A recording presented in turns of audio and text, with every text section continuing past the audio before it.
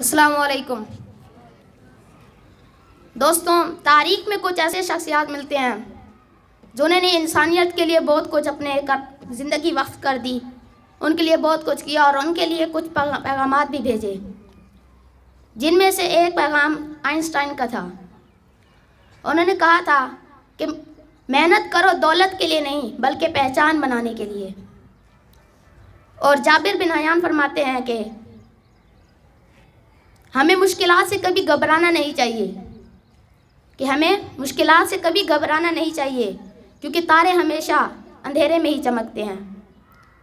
और अरस्तु ने फरमाया था, उन्होंने कहा था कि इंसान की पहचान इल्म से नहीं होती, बल्कि अदब से होती है। क्योंकि अदब तो क्योंकि इल्म तो अबलीस के पास भी था, मगर वो अदब से महरूम था। दोस्तों अब पहली बात जो मैंने आपसे कहा कि कामयाब मेहनत हमेशा मेहनत करनी चाहिए, दौलत के लिए नहीं, बल्कि पहचान बनाने के लिए।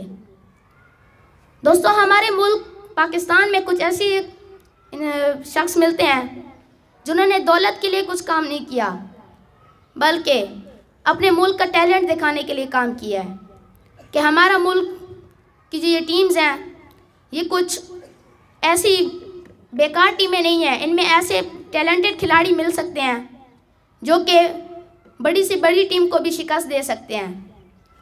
तो फिर इन, इन्हीं शख्सियात में से एक शख्स शाहनवाज धानी है, जो कि पीएसएल के मुल्तान सुल्तान के फास्ट बॉलर हैं। आप कहेंगे, ये क्या कह रहा है? ये इतने ख़ास खिलाड़ी तो नहीं है। इसके पीछे वो स्टोरी बयान करते हैं तो बंदा बहुत ज़्यादा मोटिवेट होता है तो मैंने सोचा मैं आपको भी बता दूँ। वो कहते हैं कि मैंने पीएसएल सीज़न सिक्स में सबसे ज़्यादा विकटें हासिल की। अल्लाह ने मुझे इतनी इज़्ज़त दी कि मैंने सबसे ज़्यादा बंदों को आउट किया। वो कहते हैं कि जब मेरे ट्रायल आए पीएसएल के तो जब मैं अपना टैलेंट दिखाने के लिए गया तो मेरे पास जूते भी नहीं थे कि मैं जूते पहन कर बॉलिंग करा सकूँ। तो वहाँ पर वो कुछ तहाइफ लेकर भी गए थे जब उधर क्रिकेटर को उन्होंने दिए तो वो उन पर हंसने लग गए। वो कहते, तहाइफ तो ले आए और जूते कहाँ हैं तेरे? तो उनके पास जूते भी नहीं थे तो उन्होंने अपने दोस्त से जूते उधार लिए थे। वो जूते पहने और अपनी पहली बॉल ही 147 किलोमीटर पर हावर पर गेंद फेंकी थी उन्होंने, जिसकी वजह से वो सिलेक्ट हो गए। फिर उनके, उसके बाद अल्लाह पाक ने उनको इतनी इज़्ज़त दी कि उन्होंने जो बॉल फेंकी, वो सीधा स्टम्प पर लगी और या तो कैच आउट हुआ। देखें, उसका भाई जो है वो टमाटर बेचता है, उसकी एक रेडी है और उसका अबू मजदूर है। और वो एक सादा सा शख्स था। अल्लाह ने उसको इतनी इज़्ज़त दे दी कि वो पीएसएल में इतनी ज़्यादा विकटें लेने में कामयाब हुआ। और आज फिर भी इंटरनेशनल लेवल पे हमारा खिलाड़ी बन चुका है। मुश्किलात सबकी ज़िंदगी में आती हैं। मैं कहता हूँ, मुश्किलात के अलावा ज़िंदगी अधूरी है। ज़िंदगी का कोई मज़ा ही नहीं है। अगर सब कुछ आपको, आपके प्लेट में मिल जाएगा आप फिर फ़ायदा। जब तक आप किसी चीज़ को हासिल करने के लिए काम नहीं करेंगे ना, उस चीज़ को हासिल करने में आपको मज़ा नहीं आएगा। एक मिसाल है, मिसाल आपको मैं देता हूँ। अगर कोई मैथ का क्वेश्चन है, आप पहली बार में सॉल्व कर लेते हैं, आपको मज़ा नहीं आएगा। अगर आप बार बार उस क्वेश्चन को करने में फेल हो रहे हैं, नाकाम हो रहे हैं, आपको और कहेगा कि मैं उसको करके रहूँगा। जब आपसे वो सवाल सॉल्व होगा, जो खुशी आपको मिलेगी ना उसकी इंतहा नहीं होती है।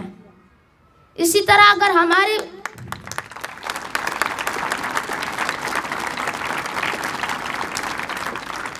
इसी तरह अगर हमारी ज़िंदगी में सारा कुछ ऐसी हो जाए जिस तरह पहले क्वेश्चन की तरह हो जाता है पहली बार में हमने कोई सवाल हल कर लिया, उसका इतना ख़ास मज़ा नहीं आता है। जो काम हमारी ज़िंदगी में आ जाए और वो बहुत ही मुश्किल हो, उसको बंदा करे जो खुशी इंसान को हासिल होती है। उसकी कोई इंतहा नहीं होती है। वो कहते हैं कि बस, मैंने सब कुछ हासिल कर लिया, मैंने इस काम को सर अंजाम दे दिया है। मुसलमानों ने रूमियों को शिकस्त दी, जो कि उस वक्त की सबसे बड़ी सल्तनत थी। और मुसलमानों की जो इस्लाम फैला, वो उसी, मैं कहता हूँ, उसी जंग की वजह से हुआ, क्योंकि इतने बड़े लश्कर को उन्होंने, मुसलमानों ने शिकस्त दी थी। तुर्कियों ने, जो कि उस वक्त अनातोलिया के कबीले जो थे उन्होंने मंगोलों के इतने बड़े लश्कर को उन्होंने शिकस्त दी। तब जाके उन्होंने 600 साल तक हुकूमत की थी। एक बात बताता चलूँ कि मंगोलों ने उस दौरान पूरी दुनिया पर अपनी हुकूमत बिछा दी थी। यानी कि हर जगह पर जहाँ आप जाएँगे, वहाँ आपको मंगोल अगर आपको मिलते। तो उस वक्त अल्लाह अल्लाह अगर चाहते तो उनको सीधा वहीं पर नस्तो नाबूद कर देते। लेकिन उस वक्त मुसलमानों को भी बहुत ज़्यादा नुकसान हुआ। अगर छः सात बंदे निकल कर उनको शिकस्त दे देते तो उनको ज़्यादा मज़ा नहीं आता। जितनी उन्होंने मुश्किलात उठाई और बाद में जो इतनी बड़ी उनको शिका, उनको इतना ज़्यादा फ़ायदा हुआ और इतनी बड़ी शिकस्त उन्होंने मंगोलों को दी थी, उससे जो मुसलमानों की खुशी थी, उसकी कोई इंतहा ही नहीं थी। और मुश्किल इंसान के हर ज़िंदगी, इंसान की ज़िंदगी में हर वक्त आती हैं। अब वो इंसान पर डिपेंड करते हैं। या तो वो मुश्किलात की वजह से दुनिया के किसी कोने में छुप जाए या तो उस मुश्किल का सामना करें। तो मैंने आपसे कहा कि मुश्किल हमें मुश्किल से घबराना नहीं चाहिए, क्योंकि तारे जो हैं हमेशा अंधेरे में ही चमकते हैं। दोस्तों, वो तारा बने जो अंधेरे में चमके, जो मुश्किल से कभी ना घबराए और उनका डट कर सामना करे। शुक्रिया।